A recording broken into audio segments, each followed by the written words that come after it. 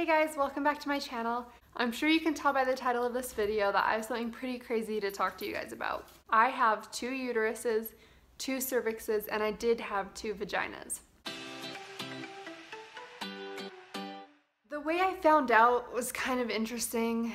Ever since I was really young, I had not been able to use tampons at all. All of my friends would kind of like ridicule me because I, I wasn't using tampons and all of them could easy peasy and I felt like there was something wrong with me because every time I would try to put a tampon in, it would feel like there was like a wall blocking it. I would literally sit on the bathroom floor with a mirror for hours on end trying to get it in. Oh, hi Piper, baby. Oh, she loves to come cuddle me. This is Piper, little baby. Um, so yeah, obviously that wasn't working for me. And I kind of gave up on it for a while, for a good while. Then I started dating my now husband, and we believe in abstinence, so we don't have sex until marriage. So it wasn't an issue for us during our courtship. But once we got engaged, I kind of remembered and I was like, oh dang, if I can't get a tampon in, what am I gonna do? So I went to see my doctor about it, which I probably should have done a long time ago, but I didn't. Anyway, she, uh, you know, explored down there and she, uh, she didn't see anything. She said I looked normal and that I probably had something called vaginismus, which I'm sure some of you are aware of. It's not that uncommon. It's basically like involuntary muscle contractions or tightening of the um, vaginal muscles um, when something is inserted. So I was like, okay, I've kind of heard of this and I've heard that it's kind of curable, so I wasn't like super worried.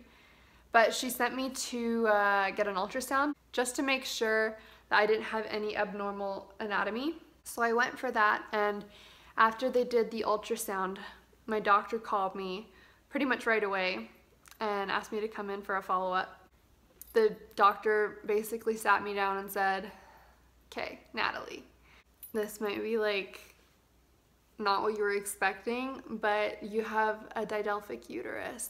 And I was like, okay, I've never heard of this. What is this?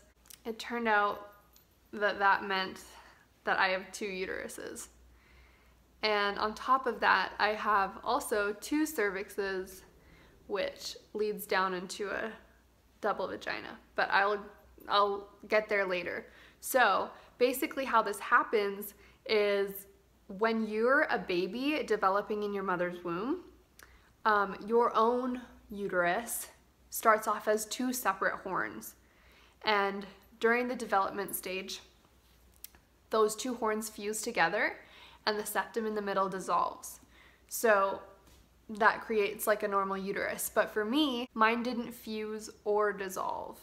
So there are some people who have an, an, anomaly where it does fuse, but the septum doesn't dissolve. But I have an anomaly where it didn't even fuse or dissolve.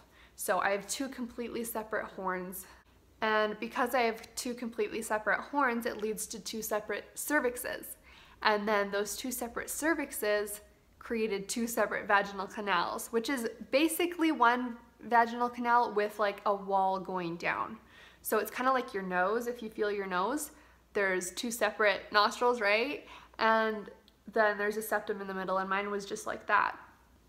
But you couldn't really see it from the outside at all, so that's why my doctor didn't catch it.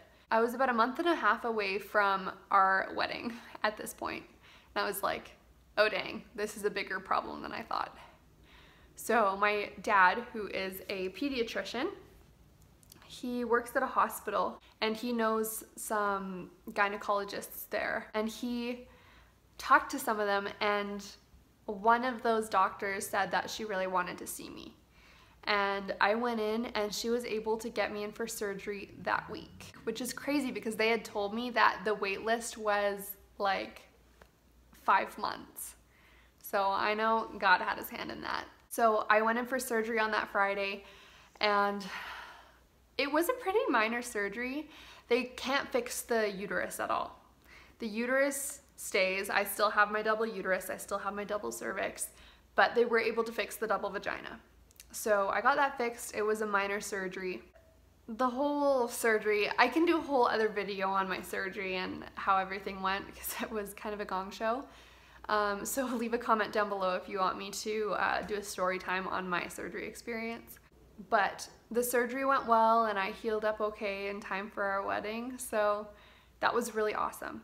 One of the big concerns with uterus didelphys is carrying children. There's not a whole lot of information on uterus didelphys. It's a pretty rare condition. It only affects about 1 in 2,000. So they don't really know a whole lot about it. But there are risks that are involved. The main risks are like preterm labor and just having a smaller baby because the uterus is like half the size, if that makes sense. I know uteruses can stretch a lot, but it's different when you've only got half of what a normal person has, if that makes sense. So as you guys know, I am pregnant with two uteruses. So obviously it's a little bit scary because I don't actually know what everything's gonna look like for me. My pregnancy is not gonna be like your average pregnancy. But right now I'm 17 weeks. If you guys are interested, I'd be more than happy to do a Q&A about my interesting anatomy and my pregnancy and how all of that's going. So leave a comment down below if you're interested. Thanks for watching my video and stay tuned for more content.